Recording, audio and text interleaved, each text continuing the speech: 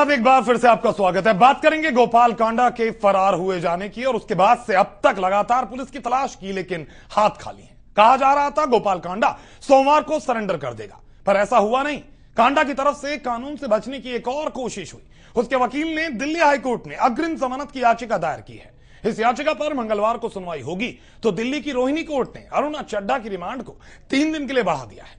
गीतिका case में दिल्ली में हलचल देखी जा रही है तो हरियाणा भी कांडा पर सियासत तेज होती नज़र आ रही है। जी हाँ, हरियाणा में भी राजनीति में भूचाल आया है कांडा के मुद्दे पर।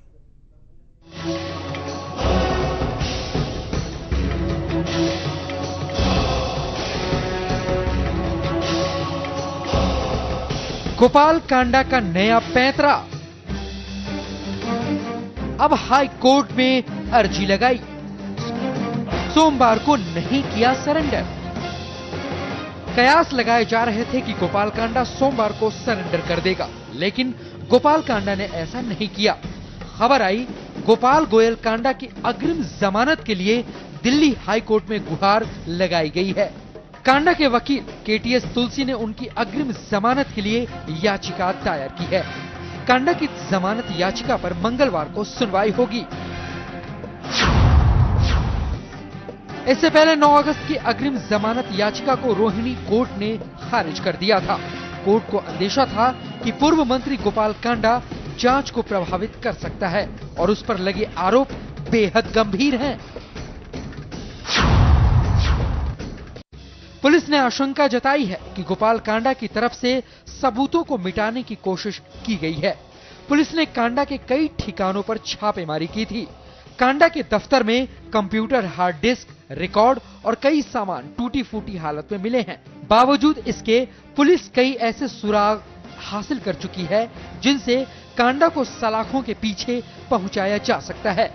पर घूम फिर कर सबसे बड़ा सवाल यही है, आखिर कांडा कहाँ है? और पुलिस अभी तक उसे क्यों गिरफ़्तार नहीं कर पाई? इधर गीतिका सुसाइड केस की आरोपी अरुणा चड्डा की रोहिणी कोर्ट में सोमवार को एक बार फिर पेशी हुई।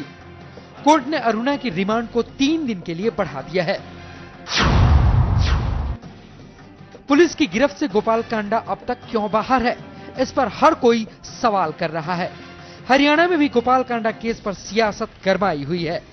इंडियन नेशनल लोक दल के अध्यक्ष और पूर्व मुख्यमंत्री ओम प्रकाश चौटाला के मुताबिक गोपाल कांडा पर लगे आरोप बेहद गंभीर और संगीन है।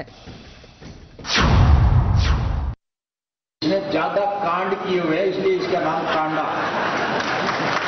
हम जो हरियाणा विधानसभा के यहाँ विधायक बैठे हैं, हम जब नॉमिनेशन पेपर फ़ाइल करते हैं तो उसमें एक कालम आता है। और उस कालम में हमें लिख के बताना पड़ता है कि हमारे खिलाफ कोई मुकदमा तो दर्ज नहीं है। और उस कालम में गोपाल कांडा ने लिखा था, मेरे खिलाफ अपराध के सिर्फ़ 12 मुकदमे दर्ज सिर्फ़ 12 मुकदमे। और जब चुनाव मैदान में उतरा तो उसकी गाड़ी से लाखों रुपए पकड़े गए और जब पैसे के बलबूते पर चुनाव जीत गया तो फिर सिरसा के एसपी ने पुलिस फोर्स लेकर के इसको गिरफ़्तार किया और गिरफ़्तार करके इसको चंडीगढ़ ले गया। खुशी की बात यह है कि पाँच दिन पहले सर्वोच्च न्यायालय ने अब हम उनके पक्ष में फैसला देते हुए कहा कि गोपाल कांडा और उसके भाई गोविंद कांडा को नोटिस दे दिए गए हैं। इनके खिलाफ मुकदमा दर्ज किया जाए गीतिका से पहले गोपाल कांडा हरियाणा की कानून व्यवस्था की ज़िम्मेदारी संभालता था।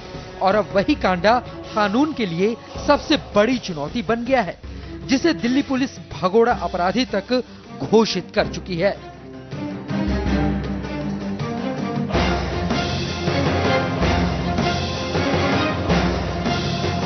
आलोक सांगवान के साथ Shakti Parmar MH one news Delhi.